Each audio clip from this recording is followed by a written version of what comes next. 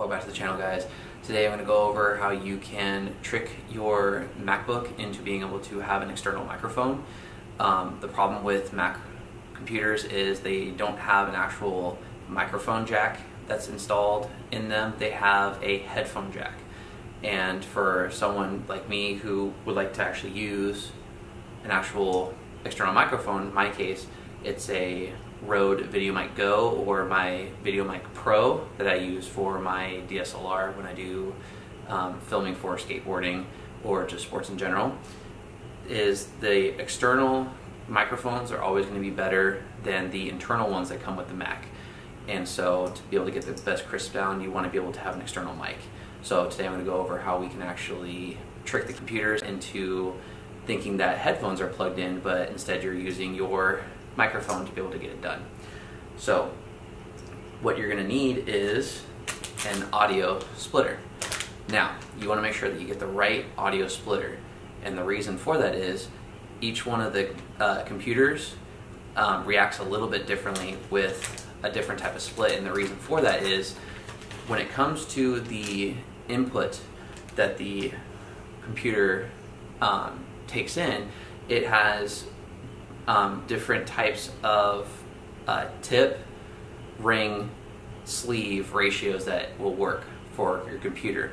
Um, test out your MacBook and see which one actually works with yours. For mine, I originally bought this one, so just a regular um, split audio headphone jack, and this one that it comes with is tip, ring, sleeve, and so I tried using this and unfortunately going through the system on my computer it didn't work.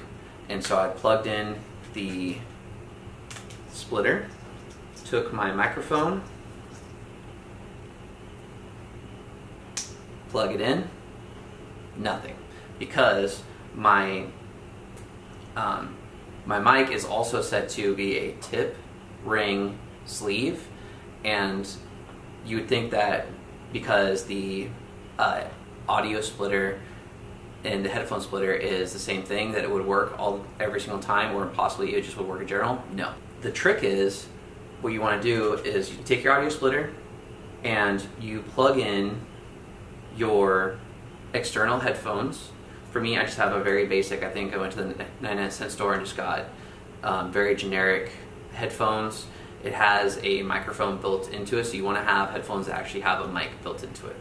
And so you take it and you're going to plug it into one splits on the headphone jack and again because this one it needs a tip ring ring sleeve for my computer it still says that it's built in for the audio for where it's going to come in so I had to go out and buy a new one so this one it's a Milso brand, the other one was Milso as well. Um, it's just there's two different types of inputs that you have. Looking at them side by side, you have tip, ring, sleeve, tip, ring, ring, sleeve. So taking the one that is supposed to now work, I take that, plug it into my computer, and you, tr you try from here. Um, it says there's two different um, it's a mic and a headphone uh, adapter. So if you plug just the uh, microphone in, unfortunately it's still not going to read. So you might think it's you know the the headphone splitter is um, defective or just doesn't work. You want to take it back. No, you still go through the same process. You first plug in your external headphones without the microphone in first. And now it says external microphone, microphone port.